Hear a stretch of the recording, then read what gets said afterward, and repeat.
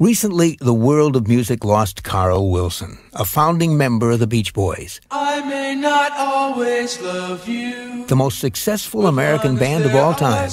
A band whose three brothers have seen their success tempered with far too much tragedy. Carl Wilson played guitar for the Beach Boys, and he sang as well. It was his high, sweet voice that carried songs like Wouldn't It Be Nice and Good Vibrations. He also gave the Beach Boys their Chuck Berry style guitar sound on hits like Surfin' USA and Fun, Fun, Fun. But more importantly, most people agree that he was the glue that held the band together.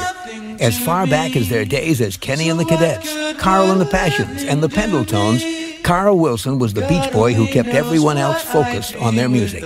When older brother Brian Wilson suffered a nervous breakdown in 1964 and stopped performing live with the band, Carl kept the Beach Boys together. When brother Dennis Wilson drowned in 1983 at the age of 39, once again, Carl made sure the band survived.